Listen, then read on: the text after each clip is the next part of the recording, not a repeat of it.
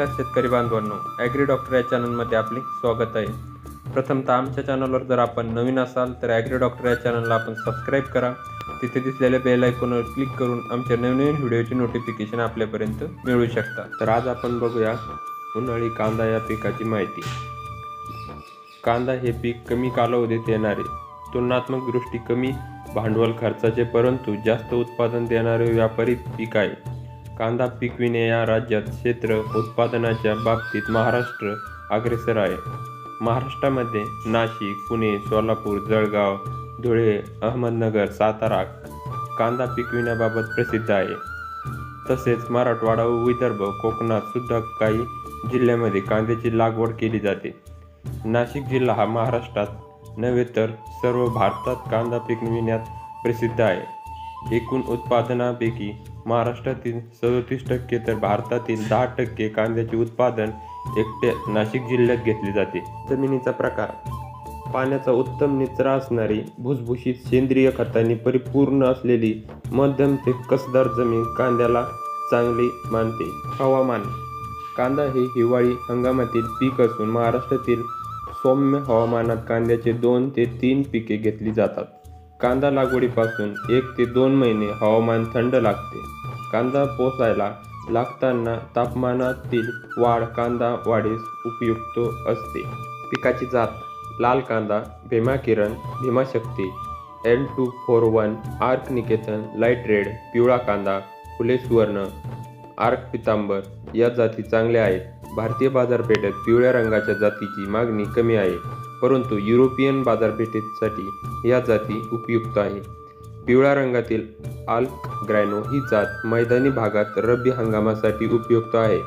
पांढरा कांदा भीमाश्वेता फुले सफेद व्हाईट पांढरी कांद्याची लागवड अकोला नागपूर अमरावती जळगाव धुळे जिल्ह्यात होते. लागवड रोपे तयार करणे खरीप पिकासाठी गादी वाफेवर रोपे तयार करतात. रब्बी व उन्हाळी हंगामासाठी सपाट वाफेवर रोपे तयार केली जातात. एक हेक्टर लागवडीसाठी पंधरा ते वीस आर गुंठेवर तयार केलेली रोपे पुरेशी पाडतात. हेक्टरी दहा किलो बी लागते. रोपे तयार करण्यासाठी जमीन भुसभुशीत करून त्यात चार ते पाच गाड्या कुजलेले शेणखत आणि अडीच किलो नत्र व पाच किलो पुरट टाकतात. बियाणे पाच सेंटीमीटर आणि दोन सेंटीमीटर खोलीवर पेरतात. सहा ते आठ आठवड्यात रोपे लागवडीस तयार होतात.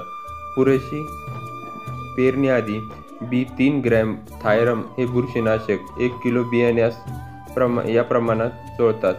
खरीप कांद्याची रोपे सहा ते सात आठवड्या आठवड्यांनी व रब्बी आठ ते नऊ आठवड्यांनी तयार होतात.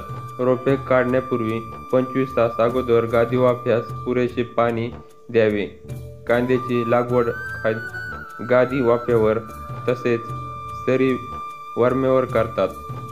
सपाट वाफ्यामध्ये हेक्टरी रोपांची प्रमाण जास्त असते तरी मध्यम आकाराचे एक एकसारखे कांद्याचे उत्पादन मिळते. सपाट वाफा दोन मीटर रुंद व उताराप्रमाणे लांबी वाफेची लांबी ठेवावी. रोपाची लागवड सकाळी अथवा संध्याकाळी करावी. रोपाची लागवड बारा पॉईंट पाच बाय सात पॉईंट पाच सेंटीमीटर अंतरावर करावी. खते व्यवस्थापन. प्रति हेक्टरी एकशे दहा किलो नत्र चाळीस किलो स्फुरद साठ किलो पालाश व पन्नास किलो गंधकयुक्त खते द्यावीत. यापैकी एक बाय तीन भाग नत्र संपूर्ण स्फुरद पालाश व गंधक लागवडीच्या वेळी आणि राहिलेले नत्र दोन हप्त्यात विभागून द्यावे. पाणी व्यवस्थापन. कांदा पिकाला नियमित पाणी देणे महत्त्वाचे असते. खरीप हंगामात दहा ते बारा दिवसाच्या अंतराने तर उन्हाळी रब्बी हंगामात सहा ते आठ दिवसांनी जमिनीची ओलावा पाहून पाणी द्यावे. रोग नियंत्रण. किडी. फुलकिडे टाक्या मुरड्या पाणी कुरतडणारे आळे या किडीचा प्रादुर्भाव होतो. उपाय. किडीच्या नियंत्रणासाठी रोपे लावल्यानंतर तीन आठवड्या अं नंतर दहा मिली मिलिथिऑन पन्नास सी सी दहा लिटर पाण्यात मिसळून आवश्यकतेनुसार पंधरा दिवसांनी फवारावे.